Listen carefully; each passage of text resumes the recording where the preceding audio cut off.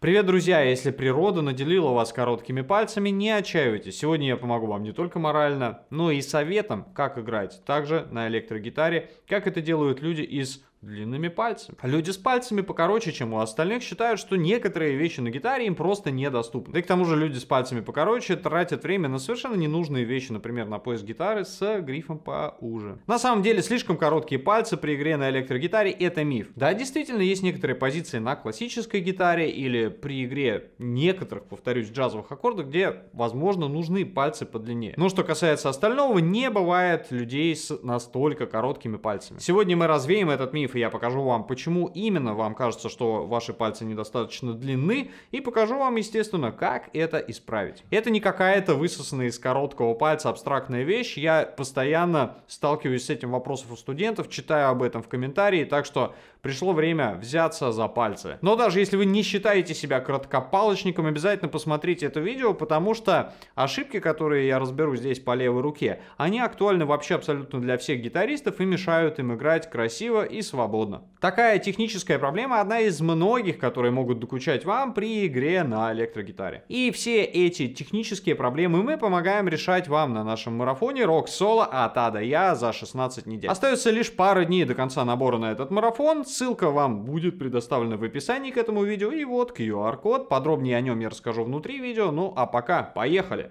Итак, друзья, в первых строках надо убедиться, прежде всего, что вы сидите правильно с гитарой. Я сейчас объясню почему. Если вы сидите с гитарой некорректно и прижимаете ее слишком к себе вот таким вот образом, помимо того, что вы напрягаете вашу правую руку, сейчас речь идет не об этом, вы значительно укорачиваете руку вашу левую. И она у вас получается такая, как у тиранозавра Рекса.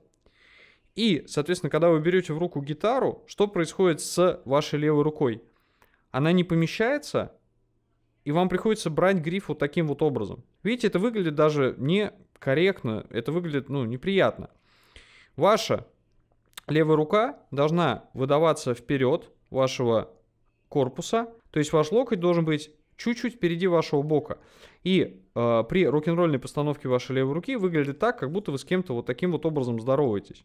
Вы же не здороваетесь вот так.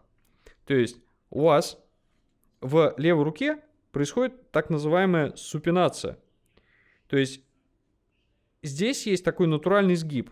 А вы можете себе напомнить таким образом, вот как вы держите кружку пива. Представьте, что вы держите ее левой рукой. Вы же не держите ее вот так. Вы держите ее вот так. И так держится ваша левая рука.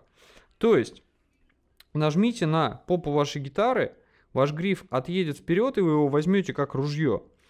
И Таким образом, ваша левая рука выйдет вперед.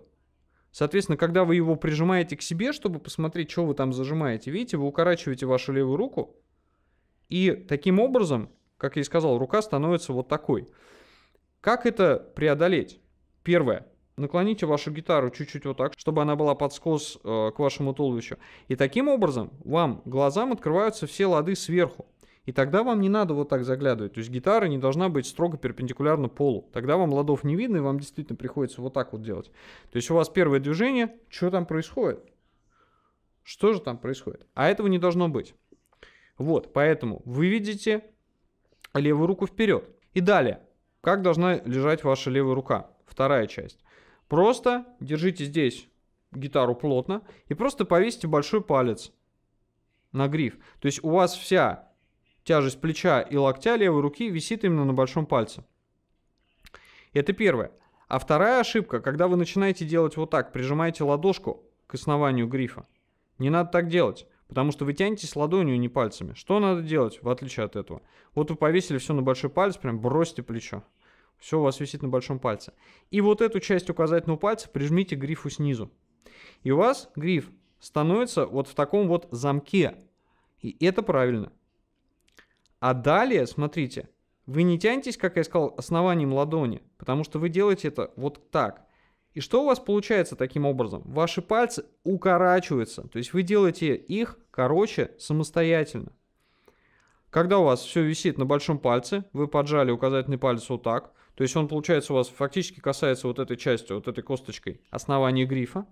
И смотрите теперь, поставим нашу рок-н-ролльную позицию. Пятый лад второй струны, восьмой лад второй же струны.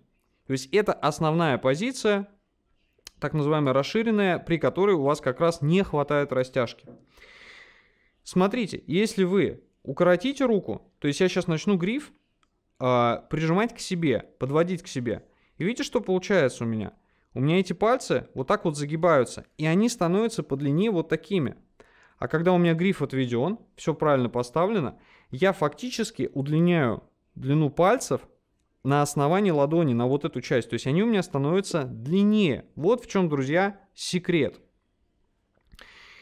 То есть ваши второй и третий палец, средний и э, безымянный, они как бы относительно грифа направлены под углом 90 градусов. Ну, примерно. Понятно, что там 85-80. Таким вот образом. Как только они у вас вот такие вот плоские, это значит, что вы всю руку вот так вот убрали под гриф, и я как сказал, у вас вот пальцы вот такие. Вот это пальцы действительно короткие. Вот так, ну, практически ни у одного человека таких нет.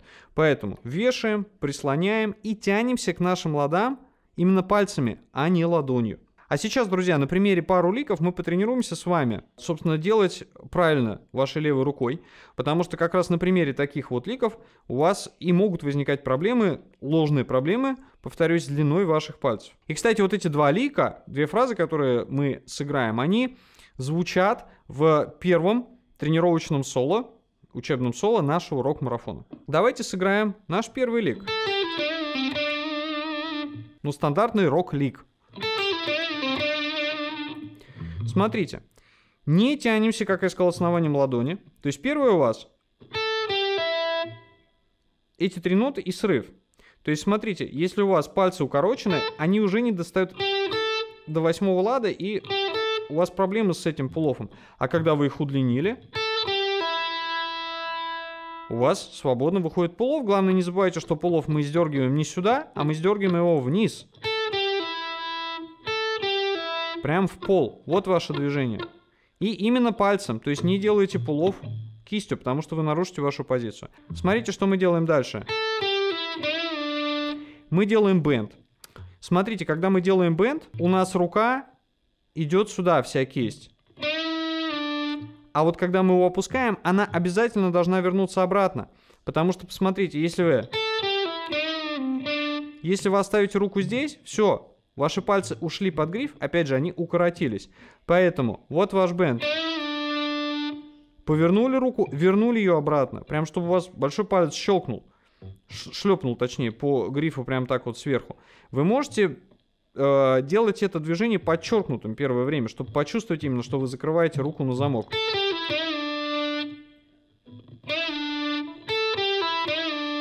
Опять же, тогда вы сможете спокойно делать этот срыв. И здесь вы делаете вибрато. Вот, основные постулаты того, что мы здесь делаем. Правильно ставим руку, отводим гитару, гриф гитары от э, тушки, как будто мы держим ружье.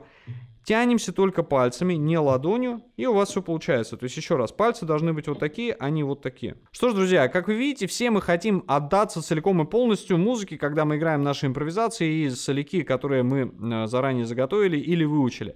Но такие вот технические проблемы, обескураживают нас и делают игру неприятной, грязной, и нам лишний раз не хочется садиться играть на нашем инструменте. И подобные технические проблемы могут быть не только с короткими пальцами, но и с правой рукой. Вы не попадаете по тем струнам, которые запланировали.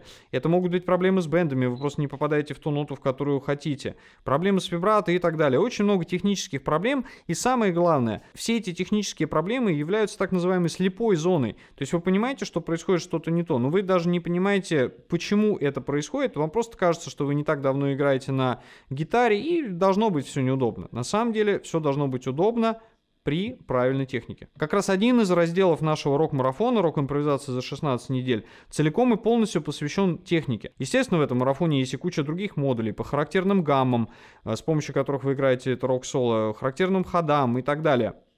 Но технике мы тоже уделяем большое внимание, потому что, как вы видите, если у вас техника неправильно стоит, то вы ничего не сможете сыграть, какие бы удивительные гаммы вы не знали. А правильной вашей техникой становится именно за счет того, что лично я проверяю ваши домашние задания и указываю вам на те, о которых Я говорил ранее слепые зоны, о которых вы даже и не подозреваете. Таким образом, от недели к неделе нашего марафона ваша техника растет, играть вам все свободней и приятней. Как я говорил, остается уже меньше двух дней до конца нашего набора, а следующий рок-марафон будет не ранее, чем через год. Так что, если вы хотите включить абсолютно любой байкинг-трек в любой тональности, в любом груве и запилить собственную импровизацию, то проходите по ссылке в описании или по QR-коду и встретимся уже внутри марафона. А мы закрепим всю ту информацию, которую мы получили, и перейдем ко второму лику. Как я говорил, второй лик тоже у нас э, присутствует в первом учебном соло. Звучит он так. Итак, друзья, смотрите, в чем а, базовая проблема вот таких вот ликов. Вы уже поставили руку, все правильно сделали, а, потянулись не кистью к основанию грифа, а дотянулись пальцами. И вот у вас первый бенд. И вот вторая нота, пятая лад второй струны. Что происходит у большинства гитаристов, когда они играют подобного рода фразы, а их очень много, поверьте. Мы играем так.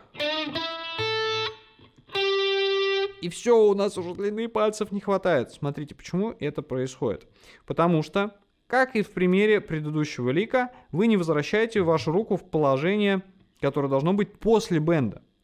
То есть вы играете бенд, и вот этой завернутой рукой играете следующую ноту. Так не должно быть.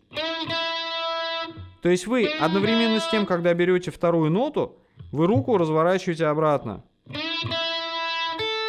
А дальше у вас перекат. И вы свободно дотягиваетесь третьим пальцем до восьмого лада. В отличие от... У вас уже и на перекат-то не хватит. И, соответственно, до вот этой вот ноты. А когда вы четко выполняете первые два движения, поэтому стоит вообще это поотрабатывать. Бенд обратно. И переход на вот эту вот третью ноту. То есть здесь ключ уже не только в постановке, а э, в обратное возвращение в эту постановку после бенда. Фраза, когда у вас звучит бенд, Э, в рок-соло бесчисленное множество, и здесь не метод брать вот эти ноты мизинцем. Мизинцем можно брать, но все равно он будет такой же укороченный, и э, ваши срывы будут звучать примерно таким образом. Так что после бендов возвращайте вашу кисть в исходное состояние. Ну и что ж, друзья, наша еженедельная рубрика. Напишите кодовое слово в комментарии, и мы восхитимся, что вы смотрите наши ролики от начала до конца. Сегодня это будет не одно слово, а целое сочетание слов. И раз уж урок был такой серьезный, давайте немножко развлечемся и пишите в комментариях, размер не имеет значения. Вот, я вам на протяжении урока объяснял, почему это так, и я надеюсь, у вас это отложится в голове и в руках. Пишите, если вам это помогло. И пишите, размер не имеет значения. Ну что ж, друзья, теперь, когда ваши пальцы просто несоразмерно длины, давайте поиграем и немножечко соло. Вот вам видео для этого.